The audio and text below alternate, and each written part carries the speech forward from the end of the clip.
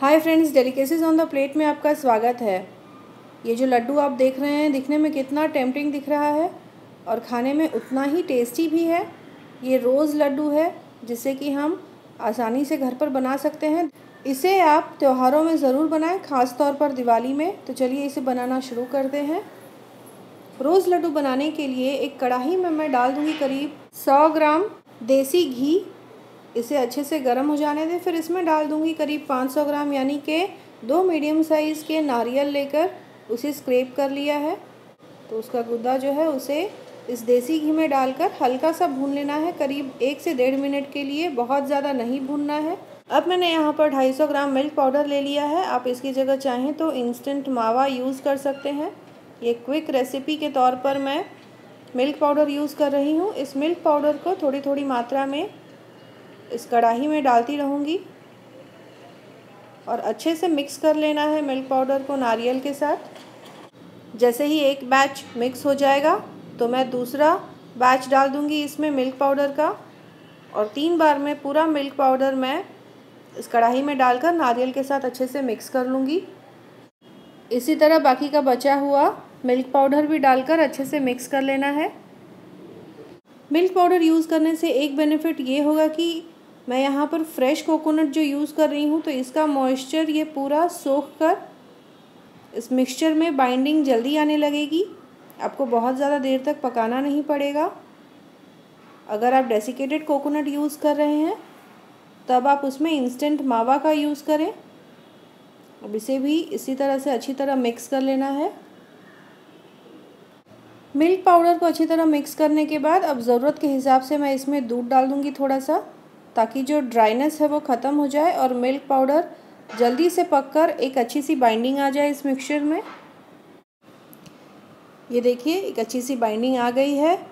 मावा और नारियल अच्छे से मिक्स हो गया है। अब इसमें मैं डाल दूँगी करीब 125 से 150 एम तक रोज़ सिरप अब इस रोज़ सिरप को डालकर अच्छे से मिक्स कर लेना है और करीब तीन से चार मिनट तक इसे लगातार चलाते हुए भून लें। इस पूरे प्रोसेस में मैंने आँच को एकदम धीमा रखा हुआ है ताकि ये मिक्सचर जो है तले में लगे नहीं। अब आप यहाँ पर देख सकते हैं कि इस मिक्सचर को कितना अच्छा गुलाबी रंग मिल गया है और कितना टेम्पटिंग लग रहा है ये। तो बाकी का बचा हुआ भी रोज़ सिरप डाल दिया है मैंने। इसे भी अच्छे से मिक्स कर लेना है। तीन से चार मिनट तक भूनने के बाद जो रोज़ सिरप का मॉइस्चर है वो ख़त्म हो जाएगा और एक अच्छी सी बाइंडिंग आ जाएगी इसमें। रोज़ सिरप मिक्स करने के साथ साथ इसमें डाल देना है करीब चार से पाँच बड़े चम्मच चीनी। आप रोज़ सिरप चाहें तो थोड़ा सा और डालकर भी इसमें मिठास बढ़ा सकते हैं। या अपने फ्लेवर के हिसाब से रोज़ सिरप आप अपने टेस्ट के हिसाब से डालें।